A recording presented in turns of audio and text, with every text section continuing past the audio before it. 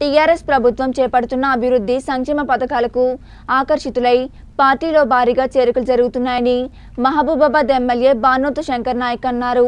మహబూబాబాద్ జిల్లా రజాలపేట గ్రామానికి చెందిన వివిధ పార్టీల నుంచి వంద కుటుంబాలు పార్టీ సీనియర్ నేత కతుల ఏలేందర్ సమక్షంలో టీఆర్ఎస్ పార్టీలో చేరారు. ఈ సందర్భంగా ఎమ్మెల్యే మాట్లాడుతూ దేశంలో ఎక్కడా లేని విధంగా తెలంగాణలో సంక్షేమ పథకాలు అమలు చేస్తున్న ఘనత సీఎం కేసీఆర్కే దక్కుతుందన్నారు.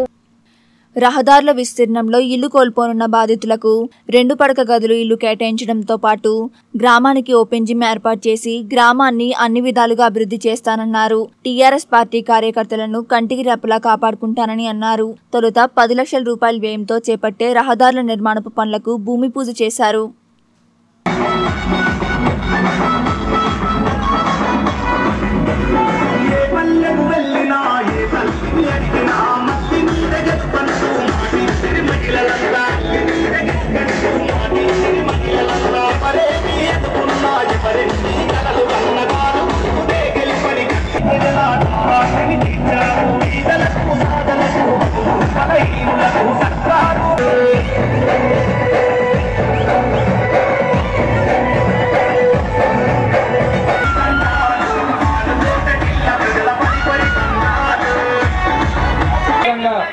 ప్రధానంగా మన పార్టీలోకి జాయిన్ అవుతున్న మిత్రులు కొందరు.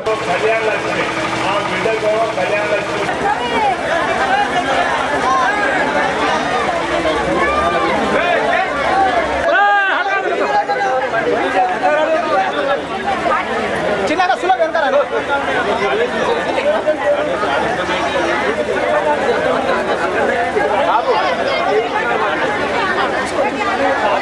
వెంకటేష్ వేదిక మీదకి రావాలి నీటి రామ మీదకి రావాల్సిన కోరుచున్నాం.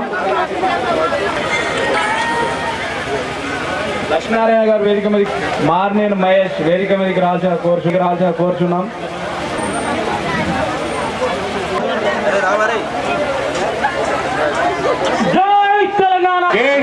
నాయకత్వం!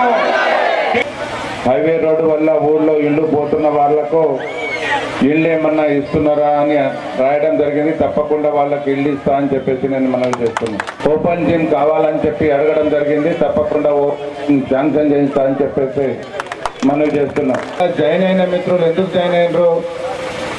ఇవాళ బీజేపీ ప్రభుత్వం భారతదేశాన్ని అమ్ముకుంటున్నారు. ప్రభుత్వాలు చేయని పనులు మన కేసీఆర్ చేస్తున్నాడు. గతంలో మాన్కోట ఎట్లా ఉండే ఇవాళ మన ప్రభుత్వం వచ్చాక నేను మీ అందరి ఆశీస్సులతో గెలిచిన తర్వాత మహబాద్ ఎట్లా ఉందో దయచేసి మీరు ఒక్కసారి చెప్పాలి.